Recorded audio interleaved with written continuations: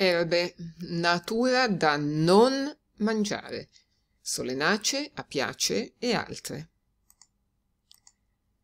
Nelle scorse lezioni abbiamo visto le piante commestibili. Adesso invece ci concentriamo su quelle che assolutamente non bisogna mangiare.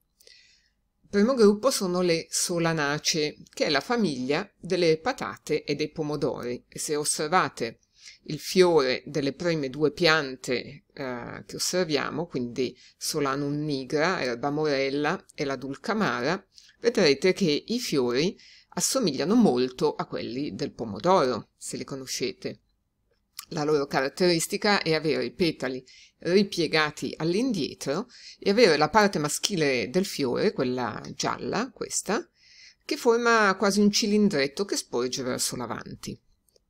Le solanacee contengono una sostanza tossica, che è la solanina, e l'ultima di queste tre, lo stramonio, contiene una sostanza ancora più velenosa che può essere addirittura mortale e paralizza praticamente la respirazione, i muscoli respiratori. La più comune tra queste tre piante è la prima, Solanum nigra, erba morella, che ha i fiori bianchi molto piccoli e le foglie che possono essere ovate e um, possono avere il margine, vedete, dentato sinuato, cioè questi denti sono un po' arrotondati, però possono anche non avere il margine dentato. Uh, la seconda per diffusione è Solanum dulcamara, che quando è fiorita è facilissima da riconoscere, ha le foglie coriformi un pochino allungate e uh, come vedete qua nelle foglie più alte ci sono anche queste due orecchiette alla base della foglia ed è una pianta rampicante. E l'ultima, che ho visto soltanto in una località del parco, però è una pianta in espansione, appunto è Datura stramonium, eh, lo stramonio, che ha dei fiori eh, grandi e bianchi. Fiorisce di notte perché viene impollinata dalle faline. Le foglie sono anche grandi e assomigliano un po' a quelle della quercia rossa. Vedete? Sono incise e dentate. Parliamo adesso del gruppo delle apiacee. Uh, le apiacee sono la famiglia del prezzemolo e della carota, quindi è di tantissime piante commestibili. Ma contiene anche questa famiglia la cicuta, quindi contiene delle piante che sono velenose mortali. E quindi io non ho consigliato mai di uh, raccogliere piante di questa famiglia, anche quelle commestibili, perché per un inesperto soprattutto è molto difficile distinguere le diverse specie, quindi si può incorrere in incidenti mm, molto spiacevoli.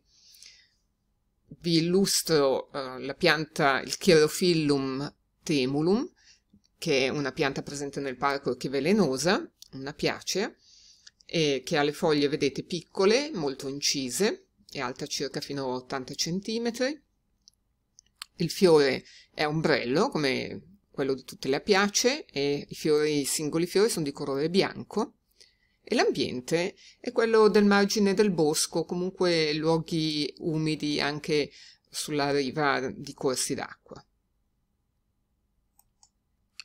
Vediamo adesso due piante che potrebbero essere confuse per le foglie con quelle dell'aglio orsino che vedete illustrato nell'ultima delle tre foto. La prima la conoscete bene, è il mughetto, eh, quando ovviamente quando è fiorita è impossibile confonderla con altre piante, ma quando non ci sono i fiori, se osservate soltanto le foglie, vedete che sono simili a quelle dell'aglio orsino, però non odorano d'aglio, quindi l'odore dell'aglio orsino, insomma, è di grande aiuto. Nella foto centrale Vediamo invece il colchico autunnale. Anche le sue foglie assomigliano molto a quelle dell'aglio orsino. Oltretutto non fiorisce in primavera, ma fiorisce in autunno. In primavera però possiamo osservare, e quindi questo ci dà aiuto, il suo frutto che si è formato dai fiori dell'autunno precedente. Il colchico contiene un veleno potentissimo, mortale, che si chiama colchicina come dicevamo, fiorisce in autunno e il suo fiore può essere scambiato con quello dello zafferano. Non è assolutamente da mangiare. Quando è presente il fiore non ci sono invece le foglie. Buona osservazione.